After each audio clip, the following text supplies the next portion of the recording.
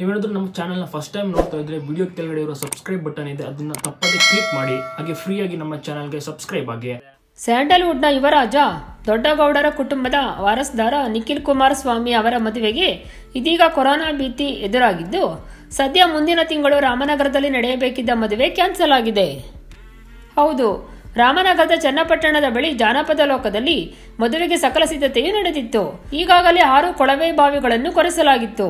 ಬಹಳಷ್ಟು ಶೆಲ್ಟರ್ಗಳನ್ನು ಹಾಕಲಾಗಿತ್ತು. ಮುಂಬೈನ ತಂಡವೊಂದು ಊಟದ ಹಾಲ್, ಮದುವೆ ಮಂಟಪವನ್ನು ತಯಾರು ಮಾಡುವ ಕೆಲಸವನ್ನು ಶುರು ಮಾಡಿತ್ತು.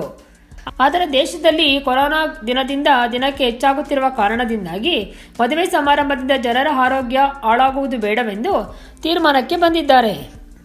ಹೌದು, ಕಳೆದ ಫೆಬ್ರವರಿ ಹತ್ತರಂದು ಬೆಂಗಳೂರಿನ ತಾಜ್ ವೆಸ್ಟ್ ಎಂಡ್ ಹೋಟೆಲ್ನಲ್ಲಿ ಅದ್ದೂರಿಯಾಗಿ ನಿಖಿಲ್ ಹಾಗೂ ರೇವತಿ ಅವರ ನಿಶ್ಚಿತಾರ್ಥ ನೆರವೇರಿತ್ತು. ಏಪ್ರಿಲ್ ಹದಿನೇಳಕ್ಕೆ ಮದುವೆ ದಿನಾಂಕ ಕೂಡ ನಿಗದಿಯಾಗಿತ್ತು. ಮಗನ ಮದುವೆಯನ್ನು ಜನರ ನಡುವೆಯೇ ಮಾಡಬೇಕೆಂದು ಕುಮಾರಸ್ವಾಮಿ ಅವರು ತಿಳಿಸಿದ್ದು. ಅದರಲ್ಲೂ ರಾಮನಗರದ ಜನರ ಋಣ ನನ್ನ ಮೇಲಿದೆ. ಅದೇ ಕಾರಣಕ್ಕೆ ಅವರ ಋಣ ತೀರಿಸುವ ಸಲುವಾಗಿ ರಾಮನಗರದಲ್ಲಿಯೇ ಮದುವೆ ಮಾಡುವುದಾಗಿಯೂ, ಪ್ರತಿ ಮನೆಗೂ ಮದುವೆ ಆಹ್ವಾನ ಪತ್ರಿಕೆ ನೀಡುವುದಾಗಿಯೂ ತಿಳಿಸಿದ್ದರು. ಮದುವೆ ಆಹ್ವಾನ ಪತ್ರಿಕೆಯು ಪ್ರಿಂಟ್ ಆಗಿತ್ತು. ಪತ್ರಿಕೆಯಲ್ಲಿ ಮದುವೆ ಸ್ಥಳವನ್ನು ಜಾನಪದ ಲೋಕ ಎಂದೇ ಪ್ರಿಂಟ್ ಮಾಡಲಾಗಿತ್ತು. ಪತ್ರಿಕೆಯ ಜೊತೆಯಲ್ಲಿ ಕುಮಾರಸ್ವಾಮಿ ಅವರ ಭಾವನಾತ್ಮಕ ಸಂದೇಶ ಇರುವ ಪತ್ರವೊಂದು ಕೂಡ ಇತ್ತು.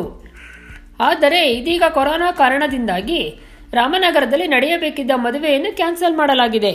ಜಾನಪದ ಲೋಕದ ಬಳಿ ಹಾಕಿದ ಶೆಲ್ಟರ್ಗಳನ್ನೆಲ್ಲ ಬೆಂಗಳೂರಿನ ಅರಮನೆ ಮೈದಾನದ ಬಳಿಗೆ ಶಿಫ್ಟ್ ಮಾಡಲಾಗುತ್ತಿದೆ.